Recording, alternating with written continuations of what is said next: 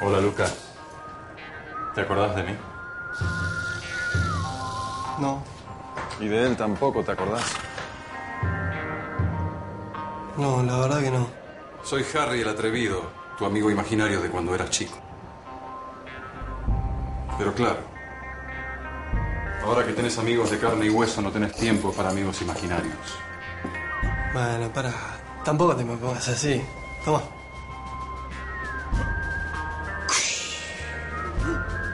Me estás jodiendo. Las cervezas imaginarias no existen, Lucas.